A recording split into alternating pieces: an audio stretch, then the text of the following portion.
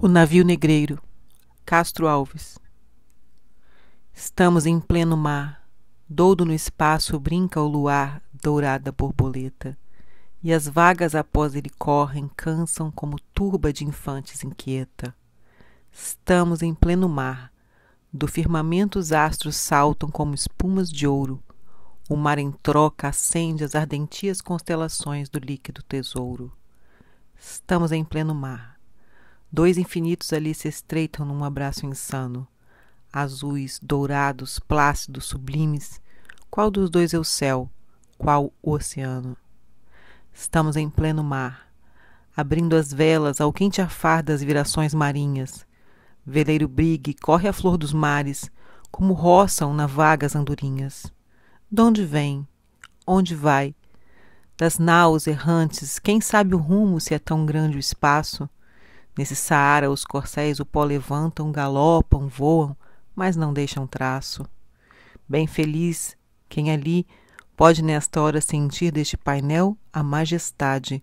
Embaixo o mar e em cima o firmamento, e no mar e no céu a imensidade. Ó oh, que doce harmonia traz-me a brisa, que música suave ao longe soa.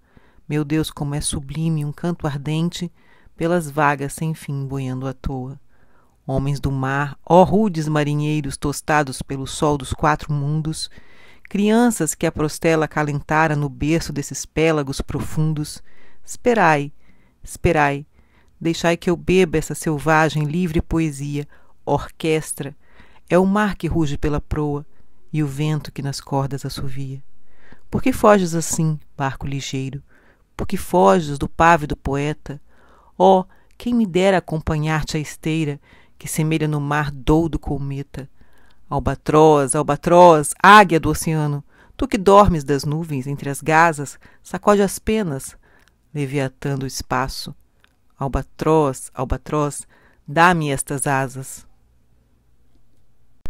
Quem importa do nauta o berço, donde é filho, qual seu lar?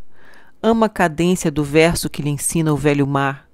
Cantai, que a morte é divina, Resvala o briga e bolina como golfinho veloz. Presa ao mastro da mazena, a saudosa bandeira acena as vagas que deixa após. Do espanhol, as cantilenas, requebradas de langor, lembram as moças morenas, as andaluzas em flor. Da Itália, o filho indolente canta Veneza dormente, terra de amor e traição. Ou do Golfo, no regaço, relembra os versos de Tasso junto às valas do vulcão. O inglês, marinheiro frio, que ao nascer no mar se achou, porque a Inglaterra é um navio que Deus na mancha ancorou, rijo entoa pátrias glórias, lembrando orgulhoso histórias de Nelson e de Abuquir. O francês predestinado canta os louros do passado e os loureiros do porvir. Os marinheiros helenos que a vaga Jônia criou, belos piratas morenos do mar que Ulisses cortou, Homens que Fídias talhara vão cantando em noite clara versos que Homero gemeu. Nautas de todas as plagas, vós sabeis achar nas vagas as melodias do céu. Desce do espaço imenso a águia do oceano. Desce mais, ainda mais, não pode olhar humano como teu mergulhar no brigue voador. Mas que vejo eu aí que quadro de amarguras, é canto funeral, que tétricas figuras, que cena infame viu, meu Deus, meu Deus, que horror.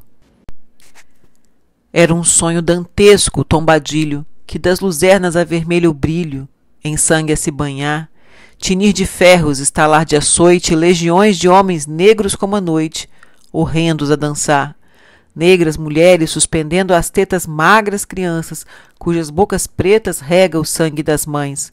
Outras moças mais nuas e espantadas, no turbilhão de espectros arrastadas em ânsia e mágoas vãs. E ri-se a orquestra irônica estridente, e da ronda fantástica a serpente faz doudas espirais. Se o velho arqueja, se no chão resvala, ouvem-se gritos, o chicote estala, e voam mais e mais. Presa nos elos de uma só cadeia, a multidão faminta cambaleia e chora e dança ali. Um de raiva delira, outro enlouquece, outro que de martírios embrutece, cantando, geme e ri. No entanto, o capitão manda a manobra, E após fitando o céu que se desdobra tão puro sobre o mar, diz do fumo entre os densos nevoeiros, vibrai rijo, chicote, marinheiros, fazei-os mais dançar. Errice a orquestra irônica, estridente, e da ronda fantástica a serpente faz doudas espirais, qual um sonho dantesco as sombras voam, gritos, ais, maldições, preces ressoam, e ri-se Satanás. Senhor Deus dos desgraçados, dizei-me vós, Senhor Deus, se é loucura, se é verdade, tanto horror perante os céus. Ó mar, por que não apagas com a esponja de tuas vagas do teu manto este borrão? Astros, noites, tempestades, rolai das imensidades, varrei os mares, tufão. Quem são esses desgraçados que não encontram em vós mais que o rir calmo da turba que excita a fúria do algoz? Quem são, se a estrela se cala, se a vaga a pressa resvala como um cúmplice fugaz, perante a noite confusa, dizei-o tu, severa musa, musa libérrima, audaz. São os filhos do deserto, onde a terra expôs a luz, onde vive em campo aberto a tribo dos homens nus, são os guerreiros ousados que com os tigres mosqueados combatem na solidão, ontem simples, fortes, bravos, hoje míseros escravos, sem luz, sem ar, sem razão. São mulheres desgraçadas como Agaro foi também, que sedentas alquebradas, de longe, bem longe vêm, trazendo com tíbios passos, filhos e algemas nos braços, na alma lágrima e fel, como Agar sofrendo tanto que nem o leite de pranto tem a dar a Ismael. Lá nas areias infindas das palmeiras no país, nasceram crianças lindas, viveram moças gentis.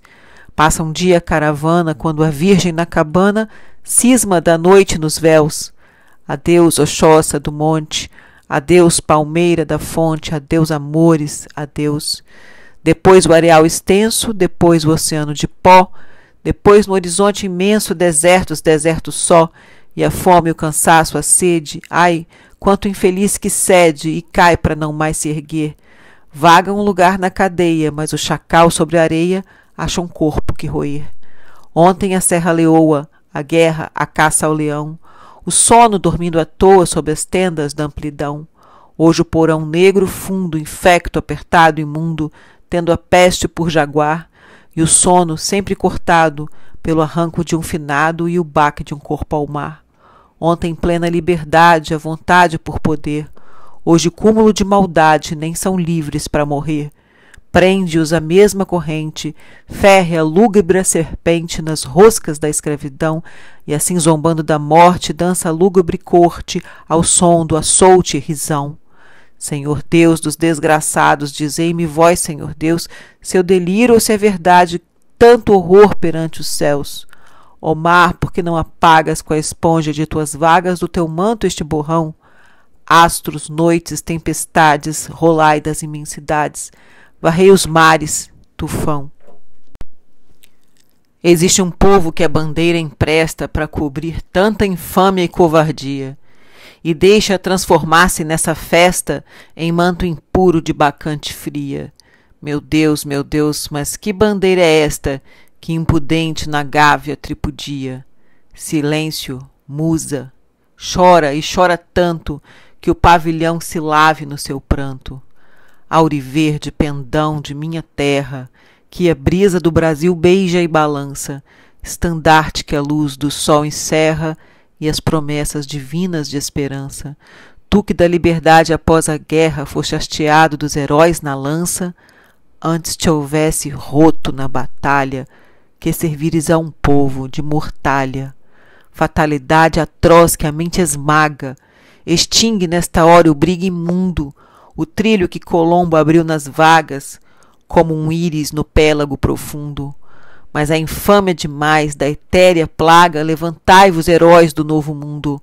Andrada, arranca esse pendão dos ares. Colombo, fecha a porta dos teus mares.